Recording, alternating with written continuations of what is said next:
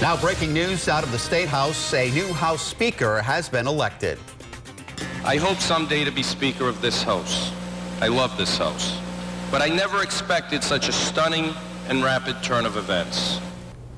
Democrat Nicholas Mattiello now holds one of the most powerful positions in the state. This comes just five days after criminal investigators raided the home and office of his predecessor, Gordon Fox, who officially resigned from his post yesterday and was not present for today's vote. It was a landslide victory for Mattiello. His only opponent, Michael Marcello, called to concede this morning, but still submitted his name for nomination this afternoon. We have in-depth coverage tonight. New at 6, Eyewitness News reporter Jared Pliner is talking one-on-one -on -one with the new House Speaker. Ted Nesi is taking a closer look at Gordon Fox's sudden fall from the top. But first, Susan Campbell has details on Mattiello's agenda that are new at 6.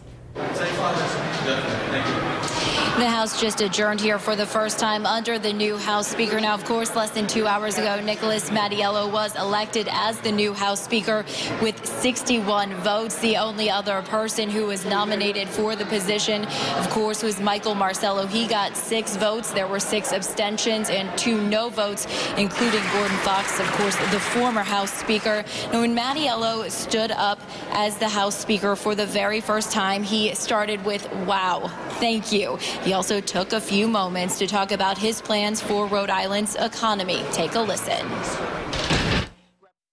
Having the highest unemployment rate in the nation is truly unacceptable. Business cannot and will not continue as usual. People want to work, and I am committed to collaborating with businesses to grow jobs and put people back to work. Please be assured that tackling the issue of jobs and the economy will be our top priority.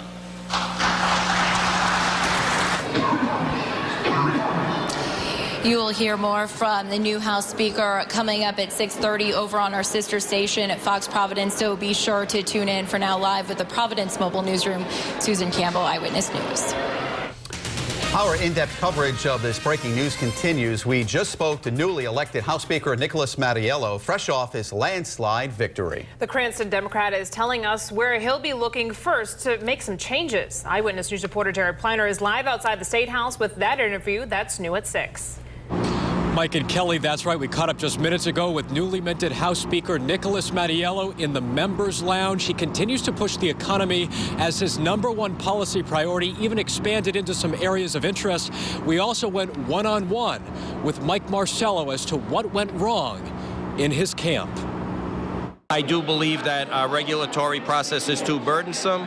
I believe that some of our taxes make us less competitive regionally than we should be. So those will be places that we start looking, but I'm, I'm not making any determinations. I am uh, honored by the, the support, but I am the Speaker of the entire House of Representatives, every member, and I will work closely and for every member of the House. It was an opportunity for us to really bring some major reform to this House. I hope he's committed to doing so. I know my team was committed to doing so, but at the end of the day, we just didn't have the votes. The institutional pressure of this building, people with jobs, people who have family working in the building, unbelievable pressure to switch votes, and that's exactly what had. I had nothing to give. I wasn't in leadership.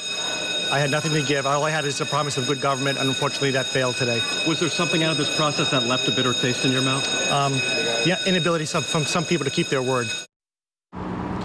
Yeah, clearly disappointed. Mark Mar Mike Marcello talking to us just a little bit earlier. We also want to bring you some breaking news as it pertains to House leadership. As promised, Majority Leader will be Representative John D. DeSimone. As Majority Whip, Representative Jay Edwards.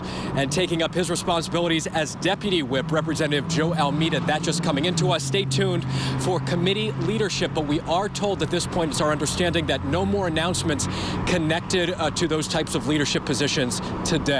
Live outside the State House with the Providence Mobile Newsroom, I'm Jared Pliner, Eyewitness News.